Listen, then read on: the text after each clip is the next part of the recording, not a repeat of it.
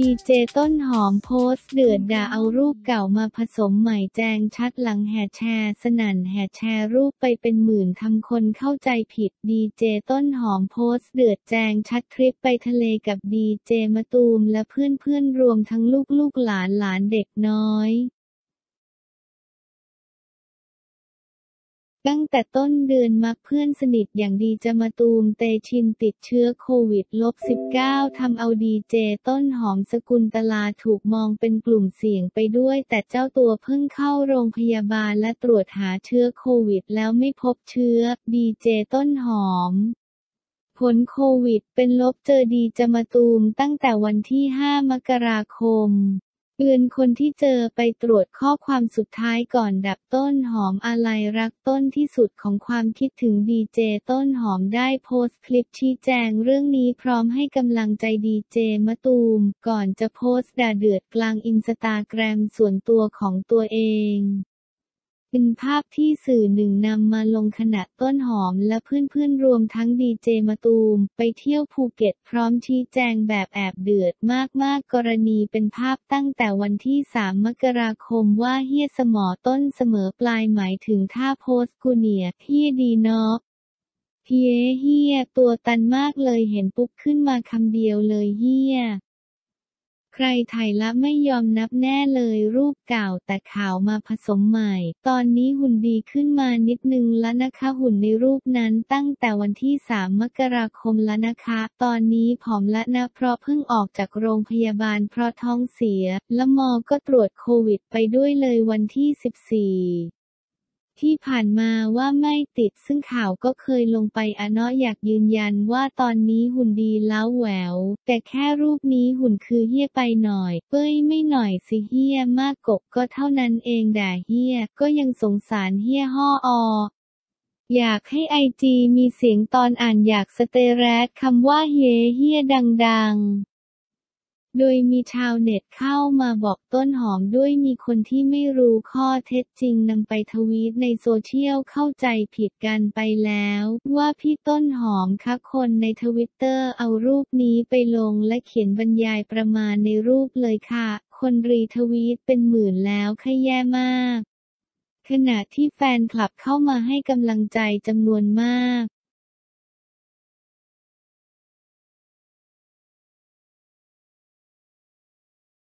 พุทธจุ๋ยอัดคลิปแจงหลังใกล้ชิดดีจะมาตูมที่เพิ่งติดโควิดตรวจแล้วลุ้นผลพรุ่งนี้ดีเจพุทธและจุ๋ยวรัตยาอัดคลิปแจงหลังใกล้ชิดกับดีจะมาตูมที่เพิ่งแจ้งข่าวติดโควิด เผยเจอกันวันที่ 8 มกราคม ไปตรวจแล้วลุ้นพรุ่งนี้ cancel งานกักตัวแล้วหลังจากที่นายเตชินหรือมะตูมพลอยเพชรดีเจและดาราหนุ่มชื่อดังได้โพสต์คลิปผ่านอินสตาแกรมส่วนตัวแจ้งว่าตนเองติดโควิด -19 พร้อมแจ้งข่าวคนใกล้ชิดให้รีบกักตัวและสังเกตอาการ ขณะเดียวกันแฟนๆ ของดีเจพุทธก็แอบเป็นห่วงเพราะทราบว่าเพิ่งไปใกล้ชิดกับดีเจมะตูม ป่านข่าวพบดีเจมะตูม เพิ่งจัดปาร์ตี้วันเกิดก่อนติดโควิด ไปเจอนางเอกดังเพื่อนดีเจอ่านข่าวแต้วนัทพรไลฟ์แจ้งใกล้ชิดดีจะมาตูมติดโควิด เผยอยู่ในกลุ่มเสี่ยงสูงอ่านข่าวเปิ้ลจูนผวารีบตรวจโควิดกักตัว 14 วันหลังไปอัดรายการช่วงเวลาเดียวกับมาตูม ล่าสุดช่วงค่ำวันที่ 20 มกราคม 64 ดีเจพุทธและจุ๋ยวรัตยาภรรยาสาวได้โพสต์คลิปลงไอจีถึงกรณีที่ดีจะมาตูมติดโควิด โดยกล่าวว่าจากข่าวมาตูมติดโควิด จนมีคนมาถามว่าใกล้ชิดมาตูมวันไหนบ้าง ดีเจพุทธบอกว่า เจอมาตูมวันที่ 8 มกราคม จัดรายการด้วยกันในรายการแฉข่าวเช้า และไม่ได้เจอกันอีกเลย แต่คนอาจจะเข้าใจผิดว่าเจอกันเมื่อวาน จริงๆ แล้วเจอกันวันที่ 8 มกราคม และเหลืออีกสองวันก็จะครบ 14 วันที่ไม่ได้เจอมาตูม ซึ่งก็ได้แคนเซิลงานและไปตรวจโควิดมาแล้วรอผลจากโรงพยาบาลจะทราบผลภายใน 24 ชั่วโมง และจะมาอัปเดตอีกทีขณะที่จุ๋ยบอกว่า กรณีมะตูมเป็นการสันนิษฐานว่าน่าจะติดในวันที่ 9 มกราคม เพราะวันนั้นมีคนที่รู้ว่าติดโควิดมาเจอและสัมผัสกับคนนั้น แต่เพื่อความสบายใจเราสองคนจึงไปตรวจพร้อมกัน โดยจะแคนเซิลงานและไม่รับงานรวมทั้งไม่เจอคนต่อไป 14 วันหลังเจอมาตูมวันที่ 8 มกราคม โดยนับวันที่ 9 เป็นวันแรกและจะครบ 14 วันในอีกสองวันข้างหน้านี้จึงได้มาบอกข่าวให้ทราบแต้วนัทพรไลฟ์แจ้งใกล้ชิดดีจะมาตูมติดโควิด เผยอยู่ในกลุ่มเสี่ยงสูงนางเอกดังแต้วนัทพรไลฟ์แจ้งใกล้ชิดดีจะมาตูมติดโควิด เผยอยู่ในกลุ่มเสี่ยงสูงกักตัว 14 วันรอตรวจใหม่อีกครั้งเพื่อความแน่ใจ หลังจากที่นายเตชินหรือมะตูมพลอยเพชรดีเจและดาราหนุ่มชื่อดังได้โพสต์คลิปผ่านอินสตาแกรมส่วนตัวเจขีดล่างมาทูมแจ้งว่าตนเองติดโควิดลบ -19 ตามที่เสนอข่าวไปแล้วนั้นล่าสุดเมื่อเวลา 20นาฬิกา15 นาที วันที่ 20 มกราคม แก้วนัทพร เตมีรักนางเอกชื่อดังซึ่งเพิ่งเจอกับดีเจมะตูมที่ได้ออกมาแจ้งว่าติดโควิด ได้ไลฟ์ผ่านอินสตาแกรมส่วนตัวว่า สวัสดีค่ะแต้วจะเริ่มต้นกักตัวหลายคนอาจจะได้ข่าวจากมะตูมแล้วว่ามีผลเป็นบวก จะมาอธิบายให้ฟังเพื่อให้คนที่เจอแต้วเมื่อวานได้ระวังตัว เมื่อวานแต้วไปเจอดีเจมะตูมไปไลฟ์แบรนด์ MCM ได้มีการถอดแมสอยู่ในห้องด้วยกัน ทานข้าวด้วยกัน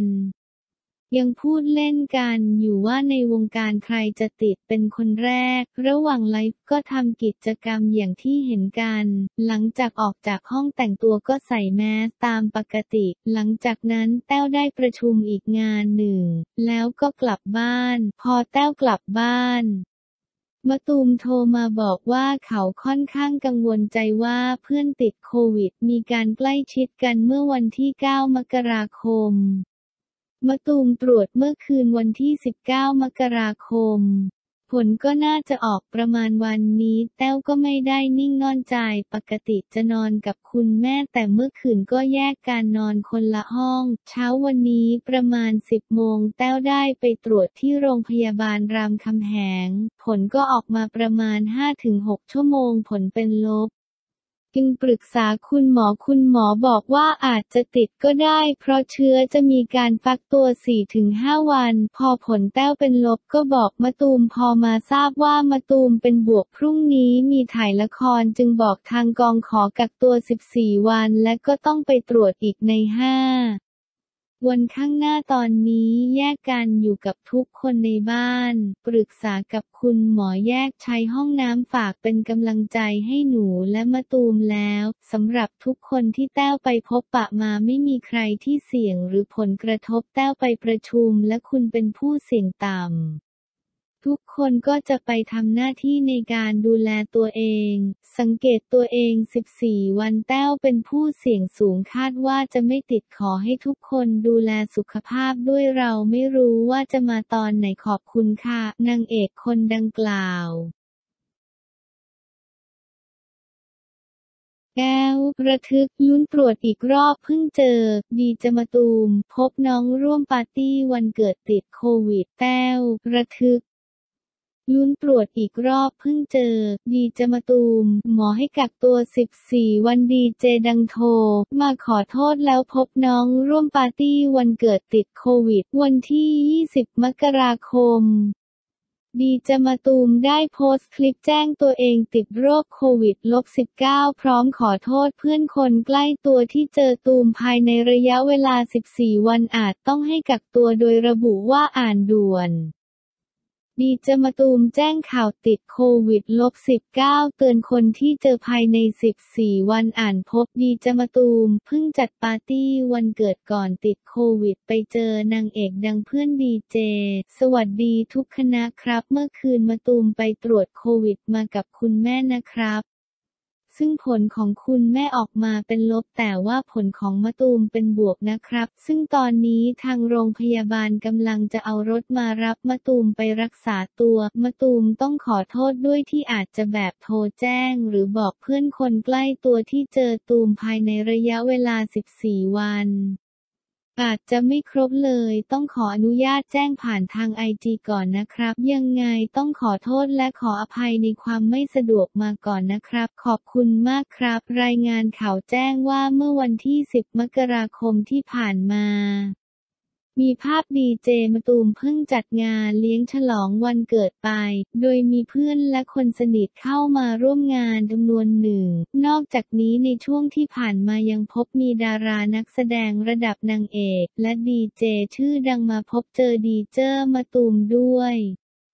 ทำให้บุคคลทั้งหมดเป็นกลุ่มเสี่ยงที่อาจติดเชื้อ ล่าสุดคุณแม่ของนางเอกชื่อดังแต้วนัทพรเตมีรักเปิดใจกับข่าวสดออนไลน์ว่าแต้วบอกกับตนว่าได้ไปเจอมะตูมเมื่อวันที่ 19 มกราคมที่ผ่านมา ซึ่งเมื่อเช้ามาตูมโทรมาบอกว่ามีน้องที่ไปงานวันเกิดติดโควิด เขาจึงจะไปตรวจซึ่งแต้วได้ไปด้วยพร้อมกันปรากฏว่ามาตูมผลออกมาเป็นบวกส่วนผลของแต้วเป็นลบแต่ก็ยังไม่โอเค จากนั้นแต้วได้โทรไปปรึกษาคุณหมอที่ดูแลการอยู่ ซึ่งบอกว่าให้แต้วกักตัวอีก 14 วันนับจากวันที่ผลตรวจออกแล้วให้กลับไปตรวจอีกครั้ง เพราะครั้งแรกอาจจะตรวจไม่พบก็ได้ ตอนนี้แต้วกับแม่ได้แยกกันอยู่ แม่คงจะต้องไปอยู่โรงแรมปิด เพราะว่าจะไปอยู่บ้านญาติก็จะมีผู้ใหญ่ ซึ่งก็ไม่สะดวกแต่ยังไม่ทราบว่าจะไปอยู่โรงแรมไหน ส่วนแต้วอยู่บ้านจริง ๆ พรุ่งนี้แต้วมีถ่ายละครแต่ได้ส่งไลน์ไปบอกทีมงานว่าขอกักตัวอีก 14 วันเพื่อรอผลการตรวจอีกครั้ง แม่นางเอกดังกล่าว ผู้สื่อข่าวถามว่าแต้วมีอาการเครียดหรือกังวลหรือไม่ คุณแม่นางเอกดังกล่าวว่าเขาไม่เครียดถ้าเป็นก็รักษามะตูมที่เขาโทรมาหาก็โทรมาขอโทษที่ทำให้เดือดร้อน ซึ่งแต้วก็ไม่ได้โกรธอะไรมันเป็นเรื่องของการเจ็บป่วยใครเป็นก็ต้องรักษา